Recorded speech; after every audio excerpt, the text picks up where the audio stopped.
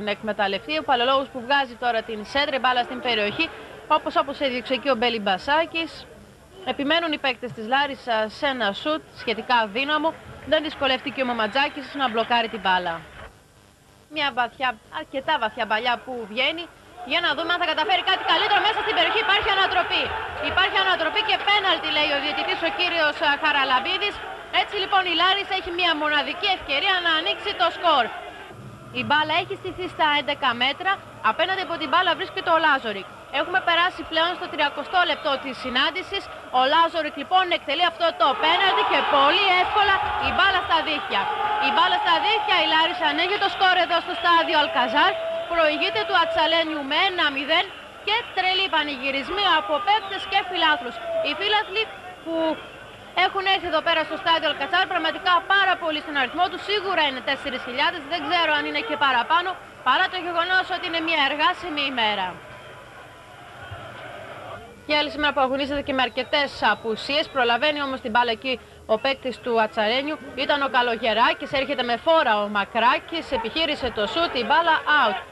Το κόρο λοιπόν αυτό για την ομάδα της Λάρισας στο 16ο λεπτό της επανάληψης. Από πολύ κοντά η μπάλα στα δίκτυα. Η μπάλα καταλήγει στα δίκτυα και η ομάδα της Λάρισα με αυτόν τον τρόπο καταφέρει να διπλασιάσει τα τέρματά της.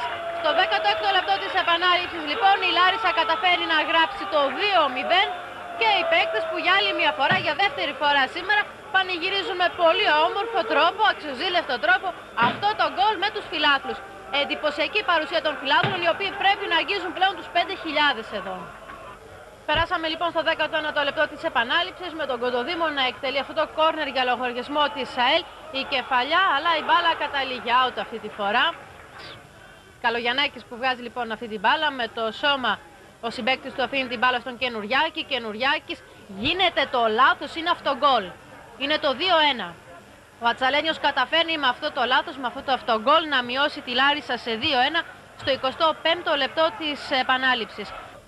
Η Λάρισα προηγείται με 2-1 του Ατσαλένιου. Σε πλεονεκτική θέση αυτό το φάουλ για την ΑΕΛ. Οι τελευταίες παρατηρήσεις του διαιτητή προς τους ποδοσφαιριστές των δύο ομάδων Όλα είναι έτοιμα λοιπόν για την εκτέλεση αυτού του φάουλ. Λάζορη, Καφίνη, Κοντοδήμος εκτελεί το φάουλ. Πολύ καλή εκτέλεση, μπάλα στα δίχτυα.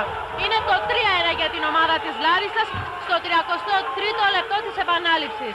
Το κλίμα λοιπόν παρά το τσουφτερό κρύο που επικρατεί ζεσταίνεται και πάλι στο στάδιο Αλκαζάρ. Στο 43ο λεπτό της επανάληψης. Λίγα λεπτά απομένουν για να συμπληρωθεί κανονική διάρκεια του αγώνα. Το κόρνερ αυτό που εκτελέστηκε, επιχειρήθηκε το σουτ. Η μπάλα σταμάτησε κάπου. Λεκάκης επιχειρεί το σουτ πολύ δυνατό. Η μπάλα όμως out. Ξέραμε ότι είχαμε ένα